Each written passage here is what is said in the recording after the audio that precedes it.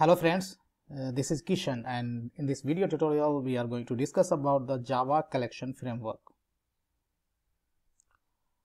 Now as per the Wikipedia, Wikipedia says uh, what is collection framework. Uh, let's see over here. The Java collection framework uh, or JCF is a set of classes and interfaces that implements commonly reusable collection data structures although referred to as a framework. It works in a manner of a library. The JCF provides both interfaces that define various collections and classes that implement them. So that's the definition I took from the Wikipedia. Now, uh, may I ask you a few questions? What is then collection? We can define a collection is a group of individual objects represented as a single unit Java provides collection framework which defines several classes and interfaces to represent a group of objects as a single unit. Right? The collection interfaces like uh, collection and map uh, are basically two main root interfaces of the collection classes. Now, why need collection framework? Right? So, before collection framework, was introduced. I'm talking about before jdk 1.2 the standard method methods for grouping java objects were array vector and hash table. All three of these collections had no common interfaces or interface. Uh, none of the collection like uh, array vector and hash table implements a standard member access interface. So it was very difficult to programmers to write algorithm that can basically work on all kind of collections. Now another problem or another drawback is that uh, most of the most of the vector methods are final. So we cannot extend vector class to implement the similar kind of collection right? So java developers decided to come up with a common interface to deal with these problems and uh, introduced a collection framework. They introduced collection in jdk 1.2 and changed the legacy vector and hash table to conform to the collection framework. Now next question in this series we have what are the advantages of collection framework? So here i have listed few advantages uh, which are provided by the uh, collection framework. Let's go through the one by one. First advantage consistent api right the API has basic set of uh, interfaces like uh, collection, set, list, map. All those uh, classes like uh, uh, which implements these interfaces have com some common set of methods and that's the advantage. That's what uh, we can say consistent API.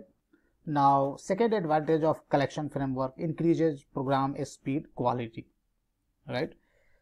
So when we talk about the uh, before that uh, reducing programming effort sorry so second advantage reduces reduces programming effort right? So the programmer need not to worry about design of collection. Rather he or she can focus on its best use in his program right? That's the second advantage. Uh, third advantage we have uh, increases program speed and quality. So basically this is related to the performance.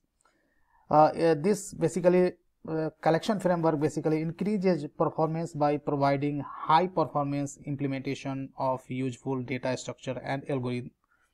When we talk about the uh, I mean high performance, then collections have uh, much better performance compared to uh, older vector and hash table classes uh, with the elimination of synchronization overheads, right?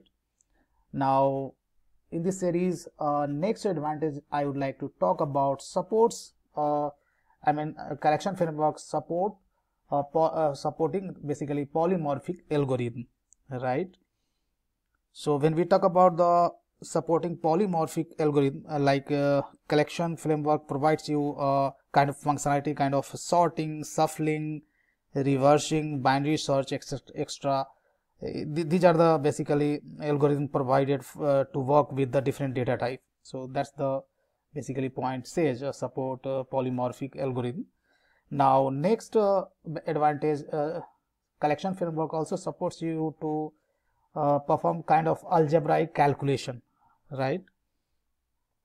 Like such as finding subsets intersections unions right? Uh, java in uh, 8 onwards we have a stream api which will help you to calculate kind of uh, aggregate functions like uh, sum of i mean some some average group by etc right? So these are the basically algebraic calculations which is supported by the collection framework.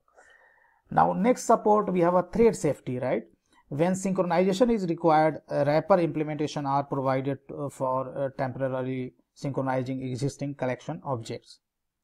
Now, next advantage immutability. When immutability is required, right, wrapper implementation are provided for making a collection immutable. So, in collection uh, uh, framework, you have a collections uh, utility class which provides you a various uh, a static method uh, which will help you to make uh, existing collection classes immutable. Now last but not the least uh, we have uh, extensibility.